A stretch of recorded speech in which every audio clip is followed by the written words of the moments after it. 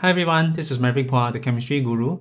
Now in this video, we want to go through the nucleophilic substitution mechanism of halogenoalkanes. Now before we describe the mechanism of nucleophilic substitution in detail, let's take a look at the functional group halogenoalkane or alkyl halides and deduce why would this functional group undergo nucleophilic substitution mechanism. Again, the mechanism is broken down into two portions. The first part is nucleophilic which talks about the reactive species that reacts with this functional group. Now, why would a halogenoalkane or an alkyl halide react with a nucleophile? It's very straightforward because I can deduce this based on the charge of the carbon. This carbon is attached to a halogen which is more electronegative than it. So the Cl is a partial minus charge. The carbon is a partial positive charge. Because this carbon is positively charged, so therefore you attract a nucleophile. So a nucleophile which is negatively charged or electron rich, will be able to attack the carbon because this carbon is positively charged while the nucleophile is electron rich or negatively charged. Now the second portion on substitution is also fairly straightforward for us to deduce. It is based on the degree of saturation of carbon. In this case, my carbon is saturated. So if this nucleophile comes in and joins to this carbon, this carbon cannot be bonded to five groups because carbon only forms four bonds. So what it has to do is it has to kick out a leaving group, in this case, which is our Cl minus. So this Cl will be kicked out and the carbon remains saturated. Again, back to the idea, because my carbon is saturated, it already has four sigma bonds. It cannot form another bond and have a total of five bonds. So what it has to do is it has to substitute one of its existing group. So therefore, a halogenoalkane will undergo substitution reaction. Right, so hopefully we get the idea in terms of deducing the mechanism that this functional group will undergo It's not just purely based on memorizing. I can deduce whether it reacts with an electrophile, nucleophile, or free radical based on the charge of this carbon, and I can deduce whether it undergoes addition or substitution reaction based on the degree of saturation of this carbon. Alright, next, something interesting involving nucleophilic substitution of halogenoalkane is I can have two different ways to undergo nucleophilic substitution. So it is broken down into two different pathways. The first one, we call it an SN1 mechanism. Now, SN1 mechanism in general is favored by tertiary halides. We will explain that in a while, but let's go through the mechanism proper first. We have this example. We have this tertiary chloroalkane and the reagents and conditions for nucleophilic substitution will be NaOH aqueous, heat or reflux. And of course, I will be substituting the Cl with an OH group. So for SN1 mechanism, it is a two-step process. So let's go through this part by part. Alright, for the first step, what will happen is this halogenoalkane will be involved. So in the first step, let me duplicate this. And I can put this here in the first step. So the first step, what will happen is my chlorine is a partial minus charge because it is more electronegative. This carbon is a partial positive charge because it is less electronegative. So what will happen is this CX bond will break by itself and both electrons will go to Cl. And because of the breaking of this Cl bond, we will actually form a carbocation and chloride ion. So this step is considered our slow step. What will happen is this portion here the carbon portion will form a carbocation ion. I have a carbon bonded to three CH3 groups. And this carbon is positively charged because it is losing its electron to Cl. So this carbon is positively charged. This is my carbocation. And both electrons go to Cl. So I'll end up with a chloride ion. I'll end up with something like this. So the first step will be the formation of the carbocation ion. Now the second step will involve the carbocation ion as well as the hydroxide, which is our OH minus. So the second step, what I can do again is I can duplicate this guy. And now the OH minus comes in. Now of course this OH minus is negatively charged. What you do is we will draw a lone pair on oxygen, attack carbon. So effectively what we're forming is we're forming a CO bond. And of course this step is fast step. And we form the product that we want. We form this CO bond. And this carbon is bonded to three methyl groups So this is the product that we have when the nucleophile OH minus joins to the carbocation ion, we form our required product, alcohol. So SN1 mechanism is a two-step reaction. We have to remember that. So where does the number one come from? Why is it called an SN1 mechanism when it is a two-step reaction? Now actually SN1, the number one doesn't represent the number of steps. It actually talks about the overall order of the reaction which is a concept that we can borrow from kinetics. So what I can do is based on this mechanism, I can deduce the rate equation based on the rate determining step or the slow step. Our first step is the slow step. You notice inside this slow step, I will have one halogenoalkane involved. So it will be first order with respect to halogenoalkane or alkyl halide. And you notice the other reactant, which is OH minus, it appears in the fast step so it is zero order with respect to OH minus or the rate of this reaction is not determined by the concentration of OH minus. So therefore, what we can figure out is the rate equation for an SN1 mechanism will look something like this. The rate, in this case, will be equals to a rate constant multiplied by the concentration of the halogenoalkane or alkyl halide. Order is 1 because inside the rate determining step there's only one halogenoalkane involved. So therefore, it is first order with respect to halogenoalkane, zero order with respect to OH minus because OH minus appears in the fast step, it's not inside the slow step. So therefore, the rate equation is just simply rate equals to K, concentration of halogenoalkane, power 1. So you notice for the rate equation, this is an overall order 1 reaction. That is why this mechanism is called SN1 mechanism. Now another idea to note is tertiary halides will favor SN1 mechanism. Tertiary halides is basically when this carbon, which is attached to the halogen, has three R groups attached to it. So you notice this carbon here has actually one R group, two R groups, three R groups attached to it. So it is a tertiary halide. Now why would tertiary halides favor SN1 mechanism?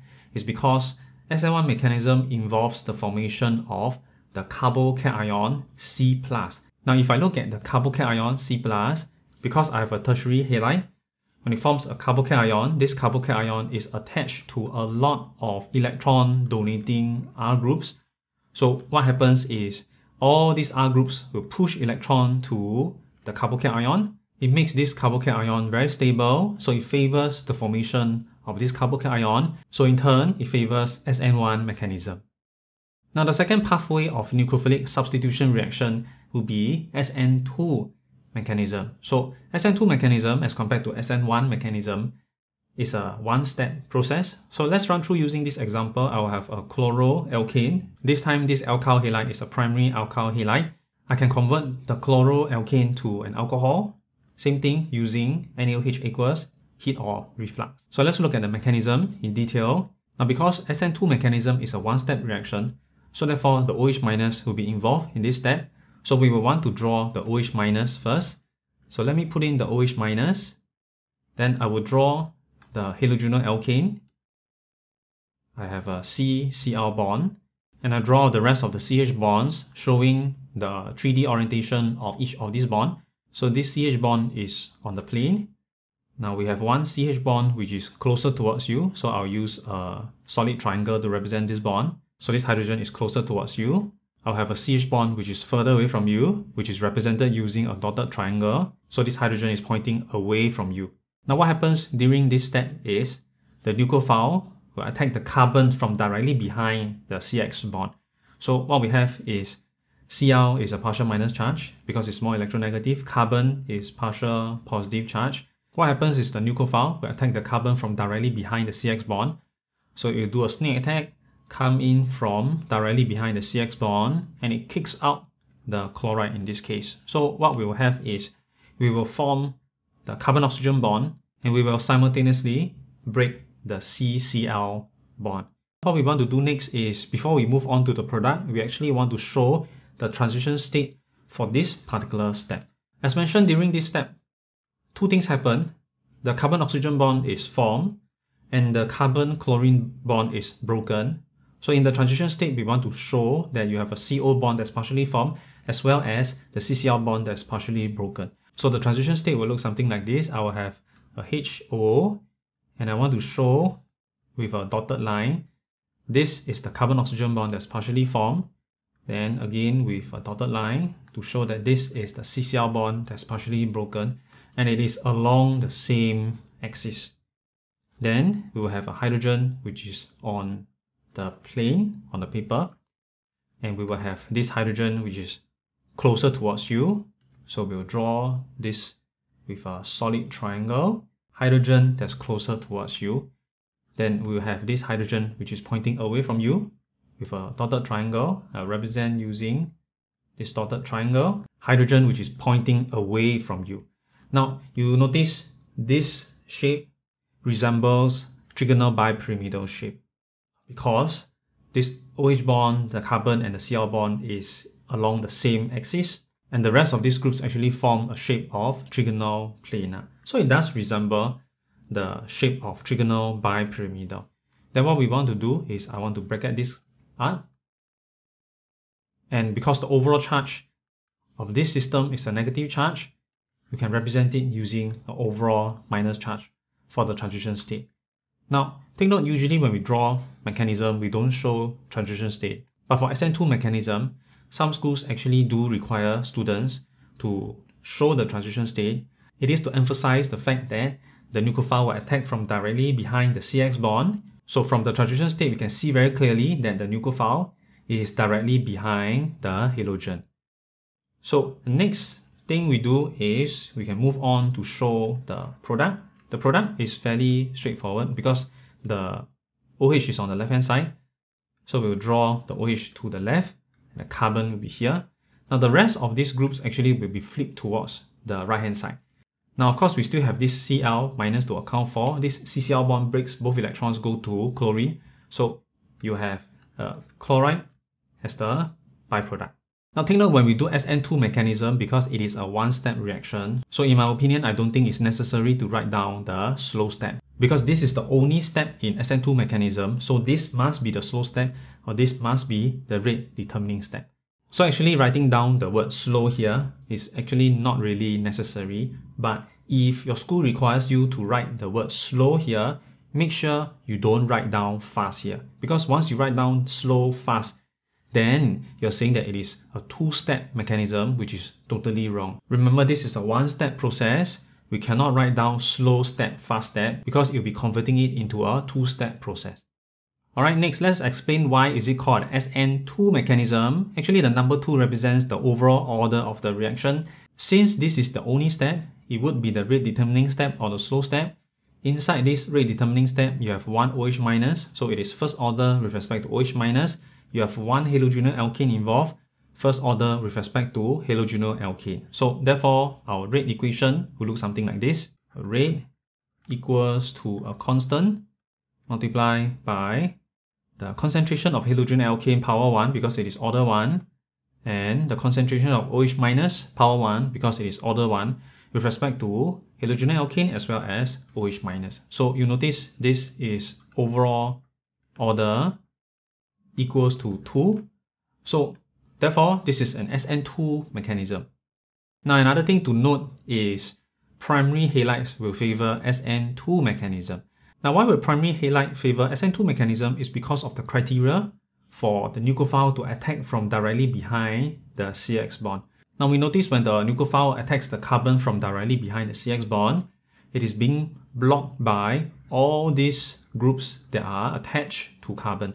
So how easy it is for the nucleophile to attack the carbon here, it depends on the size of all these groups and the steric hindrance of all these groups. If all these groups are big and bulky, then it basically blocks up this path and it makes it very hard for the nucleophile to come in and attack the carbon from the back door. So it will disfavor SN2. Now on the other hand, if I look at primary halide, effectively all these three groups are hydrogen.